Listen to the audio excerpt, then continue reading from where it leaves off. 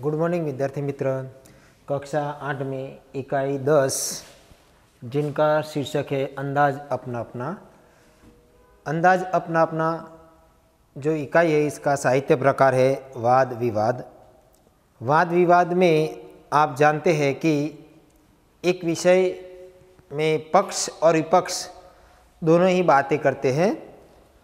अंदाज अपना अपना अपने आप आप अपने विचार कोई भी विषय पर अपने आप, अपने विचार रजू करते हैं। उनकी बात की गई है इसमें।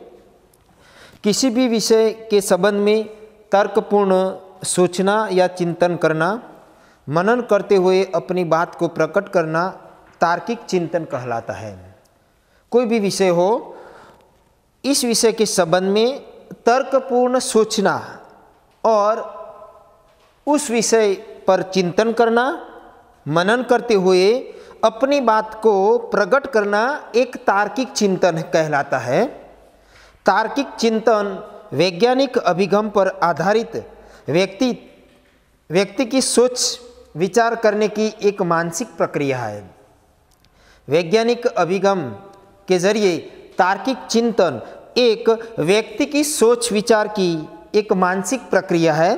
इस मुक्त चिंतन में व्यक्ति अपने जीवन के अनुभव, मान्यता और दृष्टिकोण का उपयोग माहिती का पृथककरण करने के लिए करता है। इस चिंतन में मुक्त चिंतन में व्यक्ति अपने जीवन के अनुभव, मान्यता और दृष्टिकोण का उपयोग माहिती का पृथककरण करने के लिए करता है और माहिती की सत्यता तक पहुंचकर निर्णय लेता है। किसी भी विषय के संबंध में आ, कुछ चिंतन या मनन करते हुए अपनी बात को प्रकट करना एक प्रकार का तार्किक चिंतन कहलाता है। वैज्ञानिक अभिगमों के आधार पर इस कोई भी व्यक्ति की सोच विचार करने की जो प्रक्रिया होती है मानसिक प्रक्रिया होती है प्रस्तुत इकाई में तार्किक चिंतन के बहुआयामी सोच का विकास विस्तार हो ऐसी वैविध्यपूर्ण कुछ अभ्यास रखे हुए हैं। तो आइए पढ़ते हैं ऐसी एक सुंदर और रोचक वाद विवाद शैली में लिखा हुआ अंदाज अपना अपना जिसमें दो प्रकार है, दिमागी दौड़, तर्क की लगाम, कल्पना के घोड़े।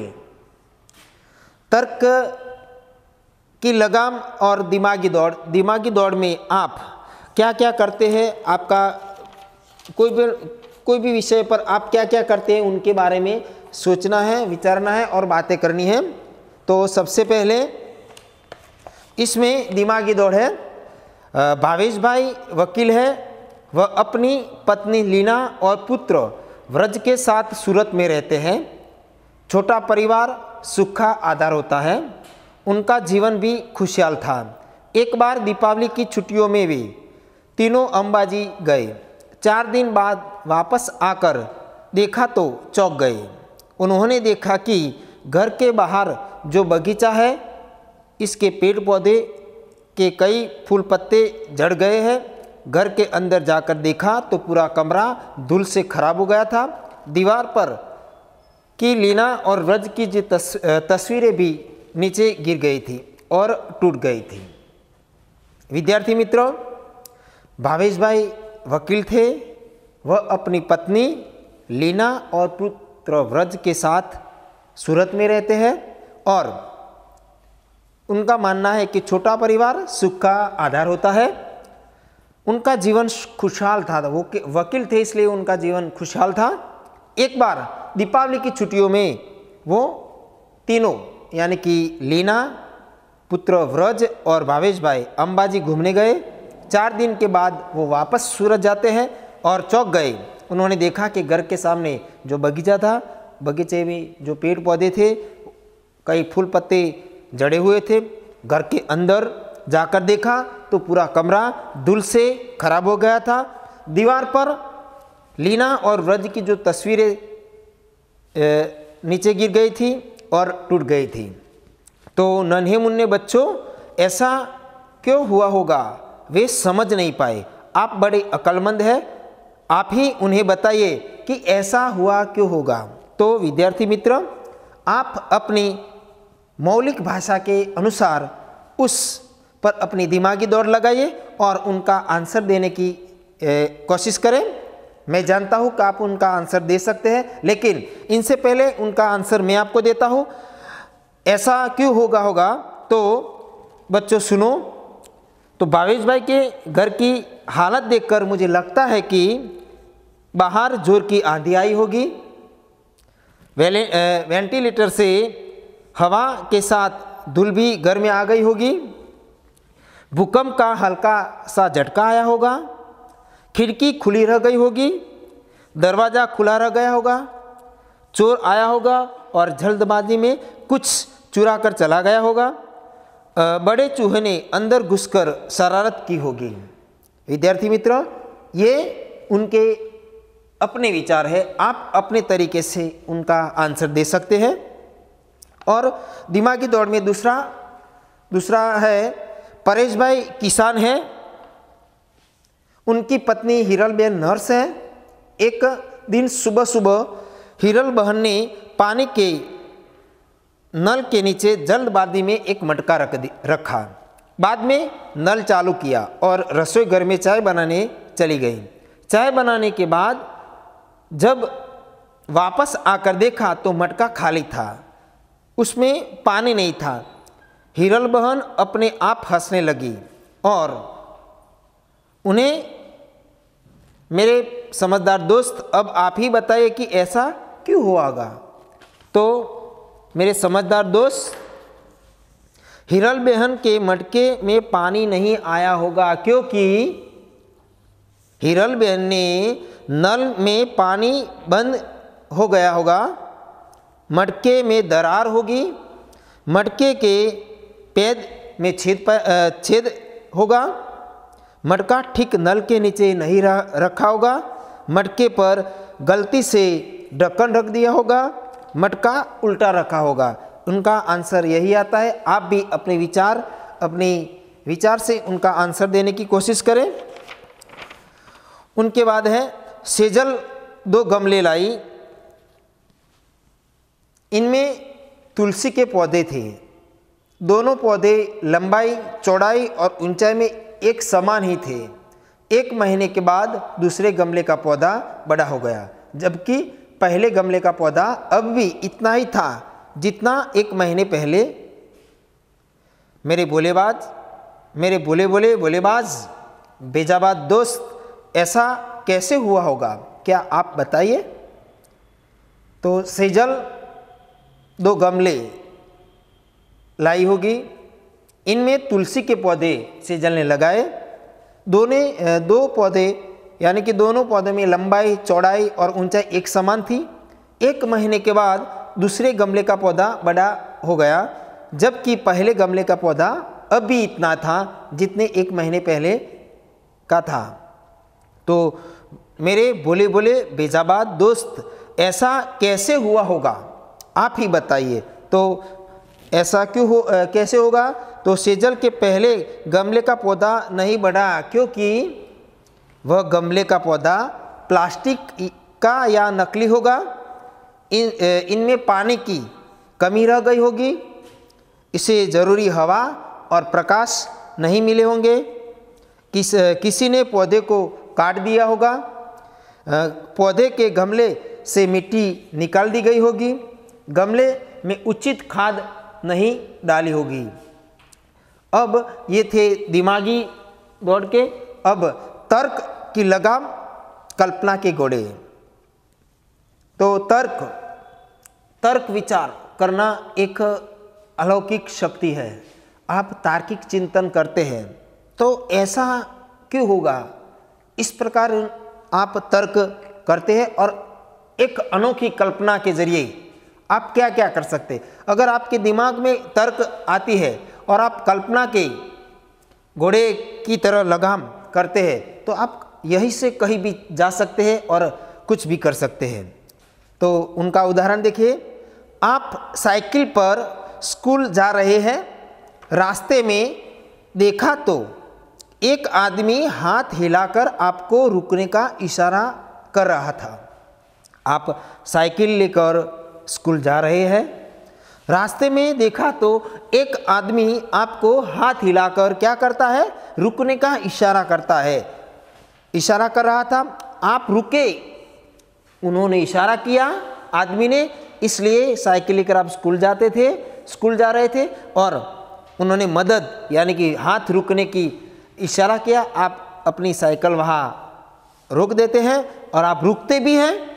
उसने कहा कि, बगल वाले गाँव में मेरा जाना ज़रूरी है। जो आदमी हाथ से इशारा कर रहा था, वो आदमी कहता है कि मुझे पास में, बगल वाले गाँव में जाना ज़रूरी है। आपने उस आदमी को साइकिल पर बिठाया और पास वाले गाँव तक पहुँचाया। आप इस आदमी को अपनी साइकिल पर बिठाते हैं और पास वाले गाँव में पास वाले गाँव तक पहुँचाया। आपने वहाँ उसको पहुँचाया। वहाँ जाकर आपको पता चला कि वह, वहाँ एक जादूगर का कार्यक्रम होने वाला है। आप पास वाले गाँव में जाते हैं और वहाँ जाकर आपको पता चलता है कि उस गाँव में एक जादूगर का कार्यक्रम होने वाला है। क्या? एक जादूगर का कार्यक्रम होने वाला है और वह आदमी उसका सहायक था, सहायक है। जिस आदमी को आप साइकिल में बिठाकर उस गाँव में लाते हैं, वही आदमी जादूगर में काम करने में उनका सहायक था। उस आदमी ने आपको जादू के खेल देखने का अनुरोध किया। जो आदमी को आप साइकिल पर बिठाकर वहाँ ले गए थे गाँव में, वो आदमी आपको कहते कि, भाई, मेरे साथ मैं आपको जादू जादू देखने का अनुरोध किया, पर पाठशाला पहुँचने में देरी हो गई, हो जाएगी। वह सोचकर आपने मना कर दिया। आप कहते, उन्होंने आपको कहा कि मेरा जादू जादूगर देखिए जाइए, लेकिन आपने मना कर दिया कि भाई, मुझे स्कूल जाना है, मुझे देरी हो जाए, इसलिए आप मना करते हैं। उस आदमी ने सारी बात जादूगर को बताई। सॉरी पाठशाला पहुँचने में देरी हो जाएगी, वह सोचकर आपने मना कर दिया। उस आदमी ने सारी बात जादूगर को बताई। जादूगर खुश होकर आपको एक करामती चश्मे चश्मे दिए और कहा कि इसे पहनने से तुम सबको देख पाओगे और कुछ भी कर पाओगे। तुम्हें कोई देख नहीं पाएगा। उसका असर एक हफ़्ते तक रहेगा।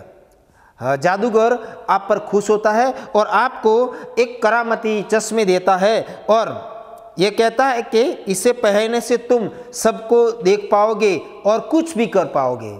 जादूगर आपको करामती एक चश्मे देता है और कहता है कि इस चश्मे पहनकर आप कुछ भी कर पाओगे, आपको कोई देख नहीं पाएगा, तुम्हें कोई देख नहीं पाएगा, उसका असर एक हफ़्ते तक।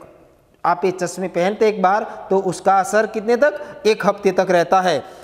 आप चश्मा लेकर वापस अपने घाव की पाठशाला में आए, वहाँ से घर गए, दूसरे रोज नहा धोकर आईने के सामने आपने चश्मे पहने। आईने में देखा तो सचमुच आप गायब हो चुके थे। आप चश्मा लेकर कहाँ जाते हैं? पाठशाला में जाते हैं। पाठशाला से आप घर जाते हैं। दूसरे दूसरे दिन रोज नहा धोकर आईने के सामने आप खड़े रहते हैं और चश्मा पहनते तो हकीकत में सचमुच आप गायब हो जाते हैं। अब बताइए, अब आप हमें बताएँ कि आप कहाँ कहाँ जाएँगे और क्या क्या करेंगे। अगर आप वहाँ हैं और करामी चश्मे हैं, अगर आप सचमुच गायब हो चुके हैं तो क्या करोगी? ये मुझे बताइए। तो जादुई चश्मा चश्मा पहन कर मैं हलवाई की दुकान पर जाकर मनमानी मनमानी मिठाई खाऊँगा, मुफ़्त में फ़िल्म या नाटक देखूँगा। मुफ़्त में जादू के जादू के खेल दिखाऊँगा फूलजारी से फूल तोड़ लाऊँगा और पेड़ पर बैठकर फल तोड़कर खाऊँगा। पड़ोसी के घर की सारी चीज़ें इधर उधर रखकर उन्हें डराऊँगा। ऐसा आपका विचार है। इस प्रकार का उनका आंसर आता है। पूरे दिन की पढ़ाई और खेल खुद के बाद रात को आपकी आँख लग गई। नींद में आपने एक सपना देखा। आप घूमते घूमते बहुत दूर निकल गए। आप नदी पहाड़ों के अद्भुत सौंदर्य में लीन हो गए। आपको पता भी न चला और आप चलते चलते जंगल में पहुँच गए। यकायक आपके सामने एक शेर आ गया। शेर को देखकर आपको होश आ गया। आप घबरा गए, मारे डर के। आँखें बंद कर दी। आपने ईश्वर को याद किया और कहा, काश मेरे पास पंछी की तरह पंख होते तो। तभी चमत्कार हुआ और आपके हाथ की जगह पंख उगाए। आप उड़कर वापस घर गए आप बड़े खुश थे। जान भी बची और पंख भी मिल गए। सपना टूटा। आपने नींद से आँखें खोली। आपने पाया कि आपको हकीकत में हाथों की जगह पंख मिल गए हैं। मेरे परिंदे दोस्त, अब बताइए कि आप कहाँ कहाँ जाएँगे और क्या क्या देखेंगे? मेरे परिंदे दोस्त, अब आप बताइए कि आप कहाँ कहाँ जाएँगे और क्या क्या देखेंगे।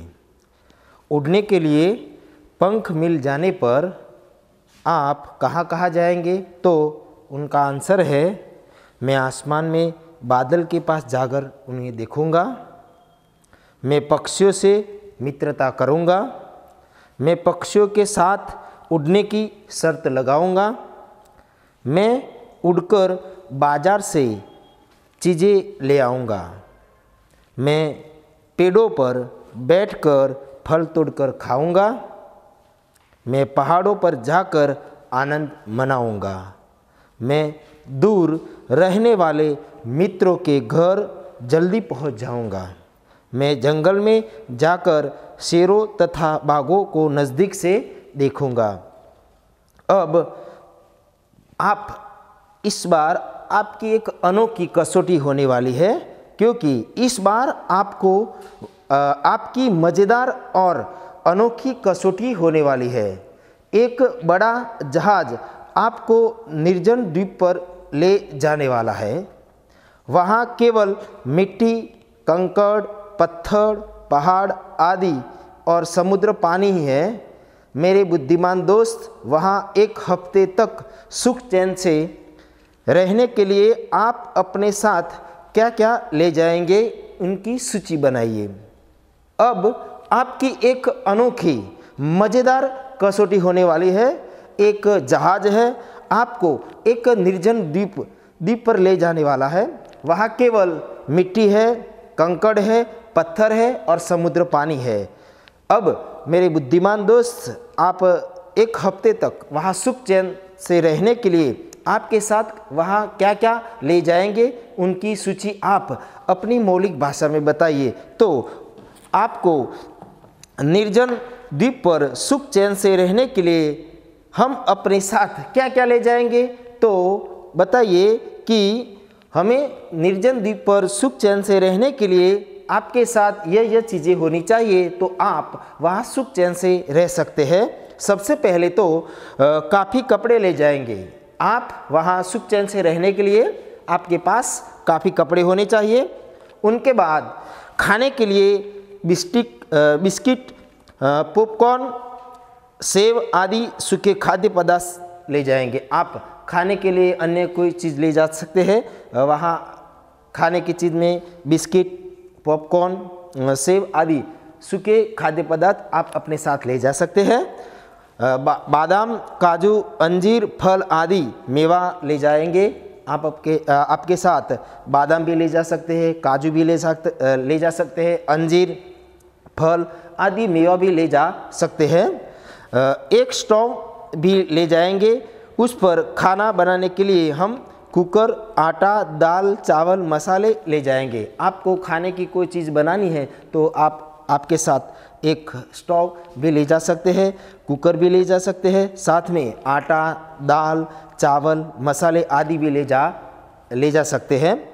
इनके बाद एक हफ़्ते तक चले इतना पानी पीने का पानी भी ले जा ले जाएँगे। एक हफ़्ते तक आपको पीने का पा, पानी की ज़रूरत पड़ेगी इसलिए एक हफ़्ते तक चले इतने इतना पीने का पानी भी आप अपने साथ ले जाएँगे।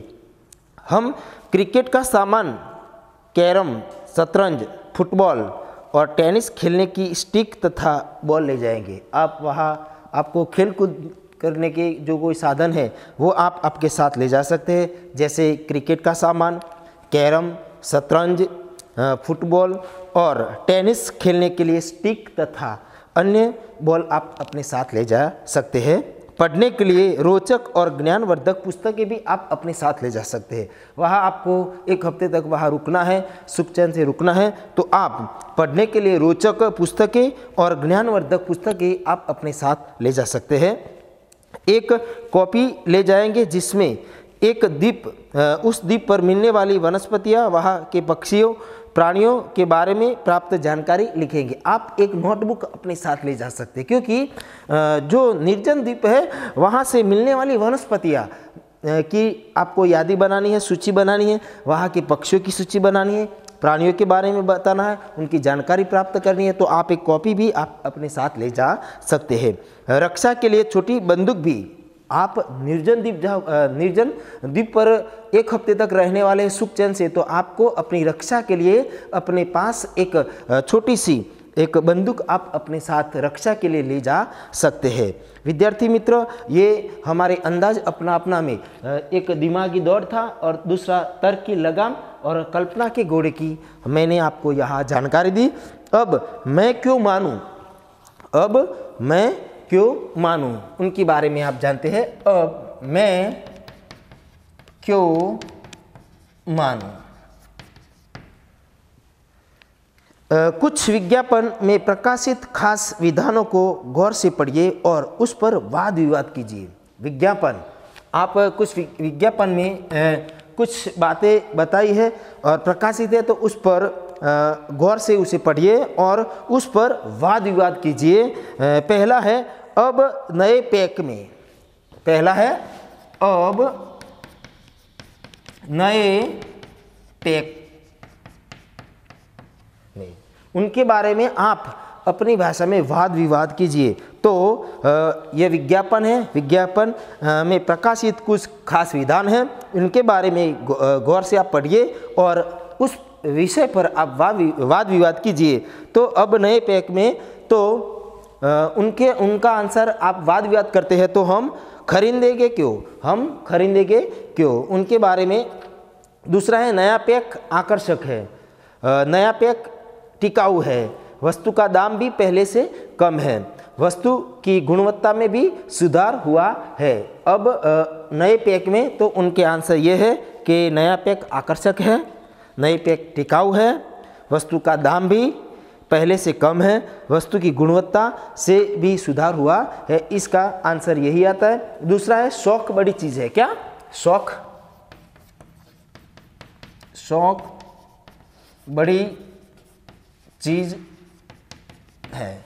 शौक बड़ी चीज़ है उस पर वाद विवाद कीजिए। तो आ, मुझे खाने मुझे अच्छे आ, अच्छे खाने कपड़े पहनने और खेलने का शौक है। शौक पर आप वाद विवाद कीजिए तो मुझे अच्छे खाने का, कपड़े पहनने का और खेलने का मुझे शौक है। शौक पूरा करने के लिए मैं पैसों की परवाह नहीं करता। क्या? शौक पूरा करने के लिए मैं पैसों की परवाह नहीं करता। शौक ज़िंदा दिली आदमी की एक पहचान है। क्या? एक ज़िंदा दिली इंसान की एक अलग सी पहचान, एक शौक है।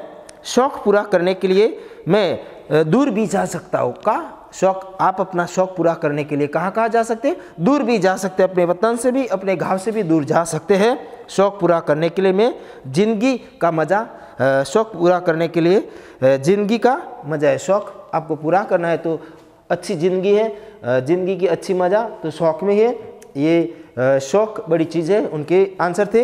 अब तीसरा है, पहले इस्तेमाल करें, फिर विश्वास करें। क्या? तीसरा है, पहले क्या करें? इस्तेमाल करें।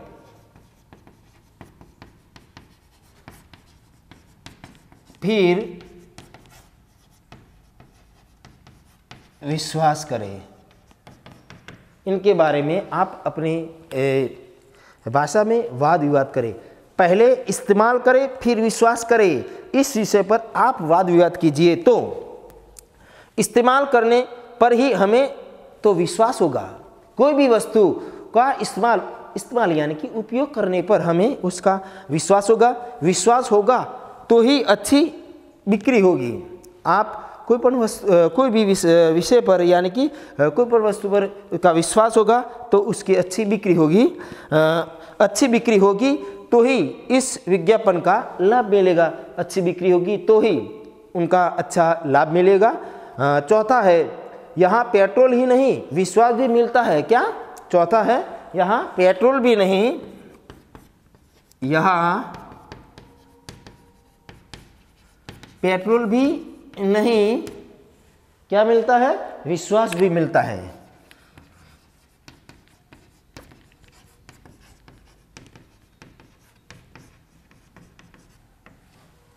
उनका अ, इस विषय पर अब वाद विवाद तो आजकल हर चीज़ मिलावटी होती है क्या? यहाँ पेट्रोल ही नहीं विश्वास भी मिलता है। तो आजकल हर चीज़ मिलावटी होती है। यहाँ पेट्रोल में लिखा अ, मिलावट नहीं की जाती। यहाँ पेट्रोल में कोई मिलावट की जाती नहीं है। पांचवा है हम सिर्फ़ गहने ही नहीं बनाते रिश्ते भी बनाते हैं। क्या? चौथ पांचवा है हम सिर्फ़ गहने ही नहीं, रिश्ते भी बनाते हैं क्या? रिश्ते भी बनाते हैं। पांचवा है, हम सिर्फ़ गहने ही नहीं बनाते, रिश्ते भी बनाते हैं।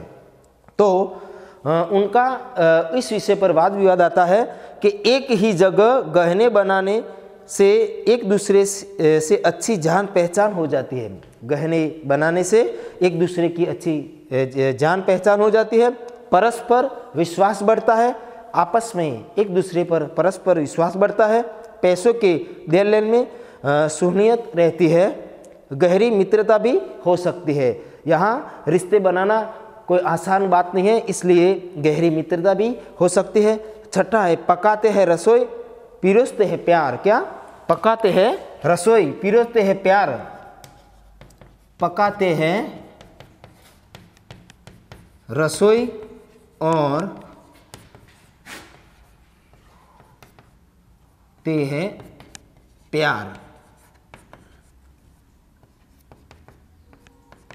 पकाते हैं रसोई पिरोसते हैं प्यार। तो हम स्वादिष्ट और पौष्टिक भोजन के लिए वहाँ जाते हैं वहाँ जाते हैं। एक बार खाकर तो देखिए, हमारे यहाँ का रुचिकर भोजन भोजन के स्वाद स्वाद के साथ हमारी आत्मीयता की, का भी अनुभव करें। हमारे यहाँ हर व्यंजन मिलेगा, वह प्यार के रस से भी भीगा होगा। क्या? पकाते हैं रसोई, पिरोसते हैं प्यार तो हम स्वादिष्ट और पौष्टिक भोजन के लिए वहाँ जहाँ जाते हैं, वहाँ जाते हैं। एक बार खाकर तो देखिए कि हमारे यहाँ का रुचिकर भोजन भोजन के स्वाद के साथ हमारी आत्मीयता का भी अनुभव करें। हमारे यहाँ हर व्यंजन मिलेगा, हर प्यार के रस भी हर प्यार का रस भी होगा। उनके बाद है, अंदाज अपना अपना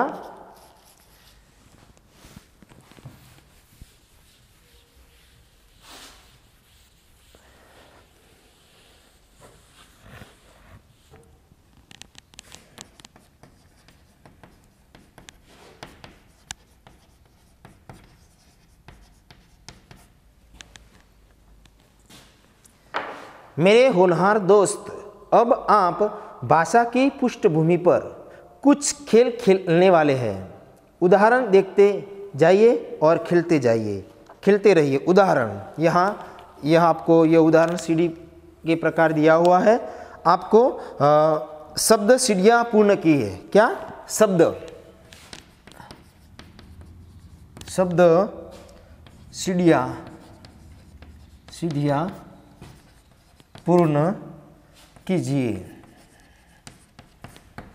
यहाँ एक नंबर पर है, इस प्रकार भारत। यहाँ भारत शालीन। ये तीन तीन अक्षर का है, इसलिए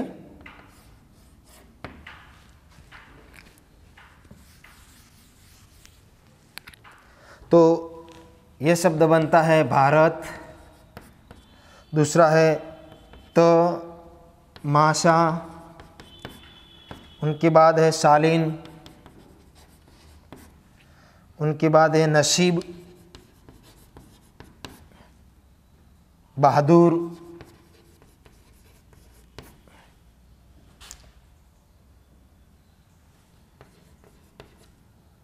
रसना। और नाताल। लड़का। काजल। लगन। और नगर। इस प्रकार ऐसी तीन तीन वाले हैं। इस प्रकार आपको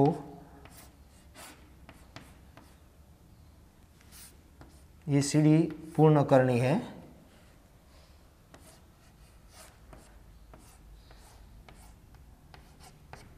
इस प्रकार। तो यह भारत तमाशा इसलिए इस प्रकार की शब्द सूची सीढ़ी आपको पूर्ण करी है। दूसरी है दूसरे नंबर पर है स्वतंत्रता।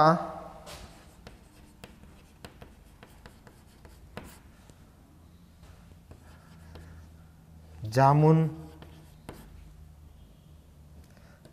नमक, कसरत।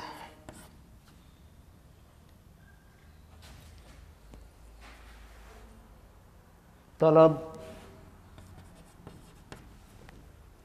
बतख,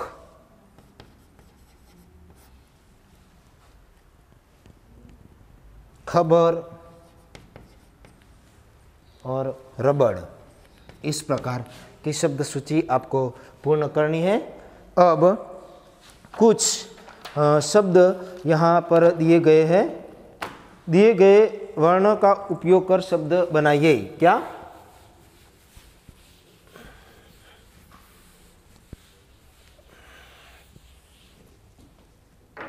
दिए गए वर्णों का उपयोग कर शब्द बनाइए।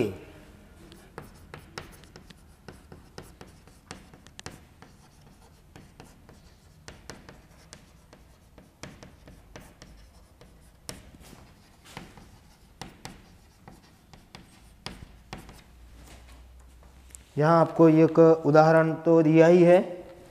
उदाहरण है, वर्ण इस प्रकार है। म र, क, न, और य। तो उनका उदाहरण होता है,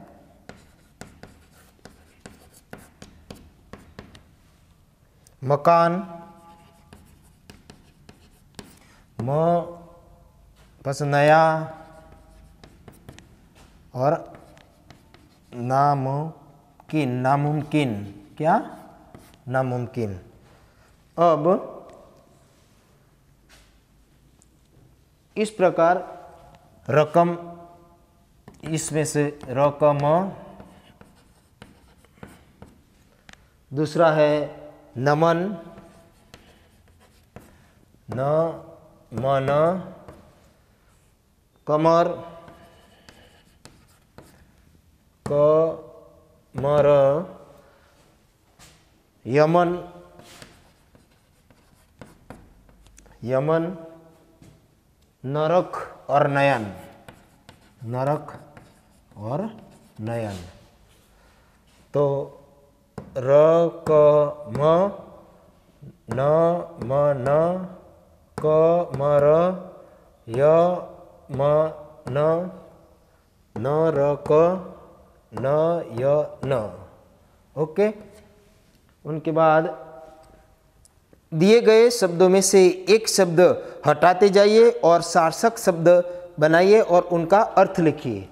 दिए गए शब्द में से एक शब्द को हटाते जाइए और उनका सार्थक। ये शब्द दिए हुए हैं। उनमें से क्या करना है आपको? एक शब्द हटाना है और क्या करना है? उनका सार्थक अर्थ। हाँ।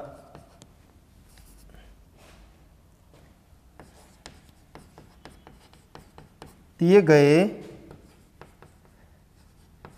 शब्द में से एक एक शब्द हटाते जाइए। और सार्थक शब्द बनाइए और उसका अर्थ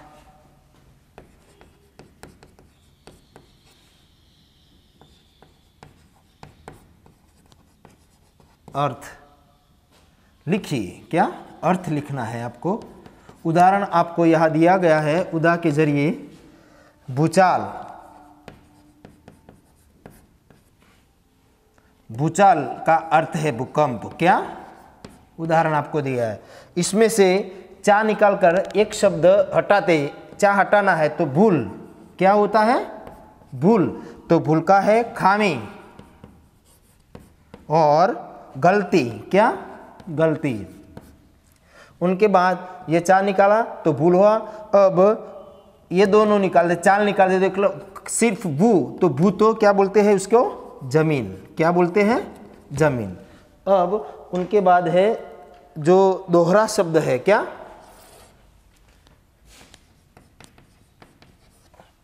दो रहा दो रहा तो दो रहा तो जहाँ दो राहें मिलती है, उनका अर्थ है जहाँ दो राहें मिलती है उसे दो राह कहते हैं। क्या कहते हैं? दो राह।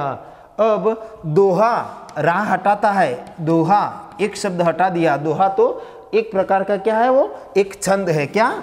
एक छंद। ये राह हटा दिया तो दोहा हुआ। और अब दो, राह हटा दिया तो दो तो एक प्रकार की क्या है? एक संख्या है क्या? एक संख्या है क्या? एक संख्या। उनके बाद एक शब्द है आराम। क्या होता है? आराम। आराम। आराम का अर्थ होता है, सार्थक शब्द होता है विश्राम। इसमें से क्या निकाला जाता है? आरा आरा का अर्थ होता है। आरा। म निकाला जाता है तो लकड़ी। लकड़ी। लकड़ी काटने का औज़ार। क्या?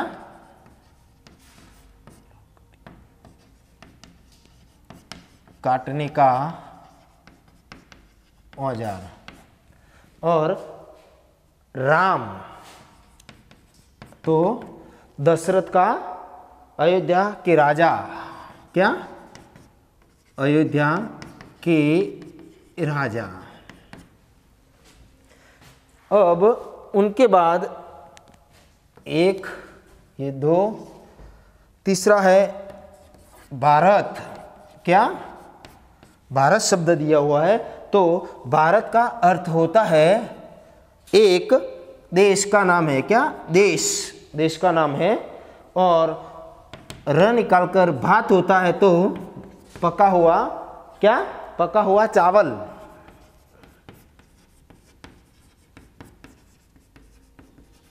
चावल।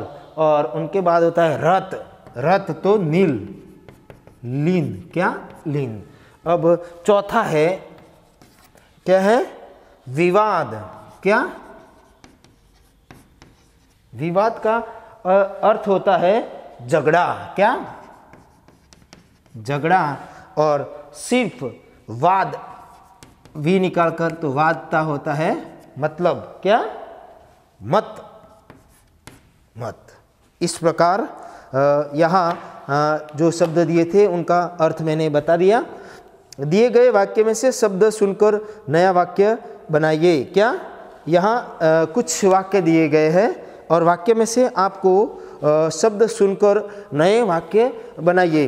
काजल ने देखा कि बिल्ली कुर्सी के नीचे बैठकर रोटी खा रही है। काजल ने यह वाक्य दिया है, वाक्य में से शब्द चुनकर।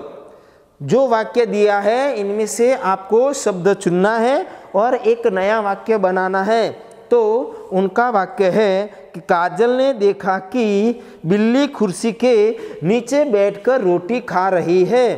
तो आ, उनका पहला वाक्य है बिल्ली कुर्सी के नीचे ही है। जो वाक्य दिए है उनमें से शब्द लेना है और नया वाक्य बनाना है। तो बिल्ली कुर्सी के नीचे ही है। दूसरा वाक्य है काजल नीचे बैठकर रोटी खा रही है। क्या? काजल नीचे बैठकर रोटी खा रही है। चौथा है, काजल ने देखा कि बिल्ली रोटी खा रही है। काजल ने देखा कि बिल्ली रोटी खा रही है।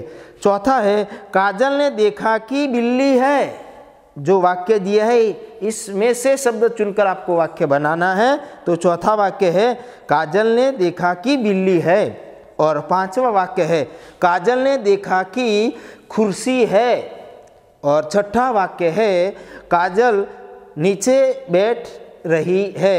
ये इस प्रकार जो वाक्य दिया था, इसमें से क्या शब्द चुनकर नए वाक्य बनते हैं।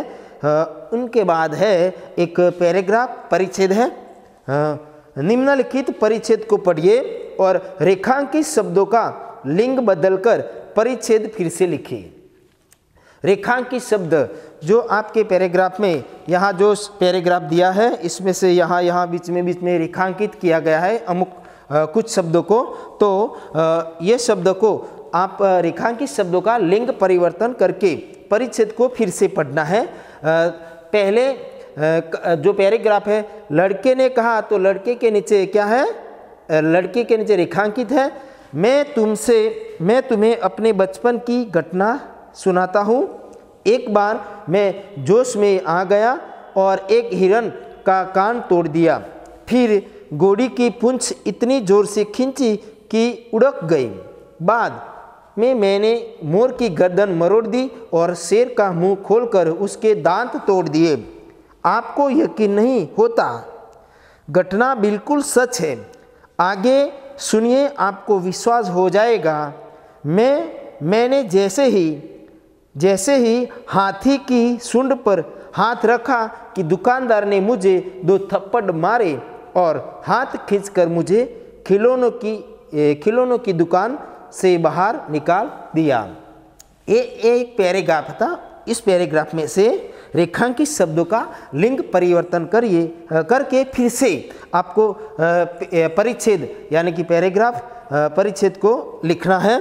तो जो लड़ लड़के ने कहा तो लड़के की जगह लिंग परिवर्तन क्या होता है? लड़की। लड़की ने कहा, मैं तुम्हें अपने बचपन की एक घटना सुनाती हूँ। एक बार मैं जोश में आ गई और एक हिरनी का कान तोड़ दिया। फिर घोड़े की पूंछ इतनी ज़ोर से खींची कि उखड़ गई। बाद में मैं, मैंने मोरनी की गर्दन मरोड़ दी और क्या हुआ? शेरनी का शेरनी का मुँह खोलकर उनके दांत तोड़ दिए। आपको यकीन नहीं होता, घटना बिल्कुल सच है। आगे सुनिए, आपको विश्वास हो जाएगा, मैंने जैसे ही हाथ, हथनी की, हाथी हाथी की लिंग परिवर्तन होता है, हाथीनी, लेकिन यहाँ हथनी की सुंड पर हाथ रखा कि दुकानदार ने मुझे दो थप्पड़ मारे और हाथ खींचकर मुझे खिलौनों की दुकान से बाहर निकाल दिया। ये ये पैराग्राफ था। पैराग्राफ का लिंग परिवर्तन मैंने आपको बता दिया। अब योग्यता विस्तार में आप जाते हैं। वहाँ एक निम्नलिखित एक व्यक्ति संत के पास गया और योग्यता विस्तार में कुछ बातें हैं। योग्यता विस्तार में एक व्यक्ति एक संत के पास गया। उसने संत से संत से पूछा, मैं परमात्मा के किस स्वरूप का स्मरण करूँ?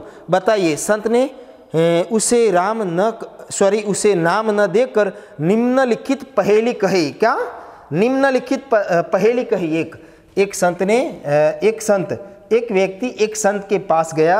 उसने संत से संत से पूछा, मैं परमात्मा के किस स्वरूप का स्मरण करूँ? बताइए संत ने उसे नाम न देकर निम्नलिखित पहेली संत ने एक पहेली दी। आप बताइए कि कि संत ने किसका स्मरण करने को कहा होगा? पहेली है अजा। अजा, सहेली, तारिपू। उस जननी भरथार, क्या? जननी भरथार उस पुत्र के मित्र को भल ले बार बार।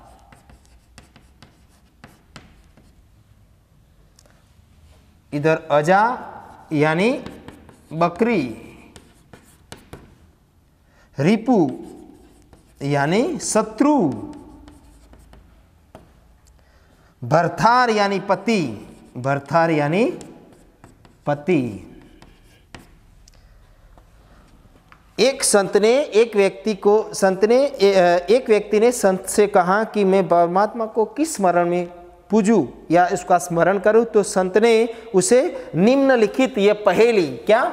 यह पहेली दी और कहा कि इस प्रकार तुम परमात्मा का स्मरण करो। यहाँ, अजा सहेली ता रिपु उस जननी भरथार उस पुत्र के मित्र को बल दे बार बार तो यहाँ यजा यानी कि संस्कृत का शब्द है, अजा यानी बकरी, रिपु यानी शत्रु और बर्थार यानी पति तो उनका क्या अर्थ होगा? तो इस पहेली में इस प्रकार का अर्थ होता है।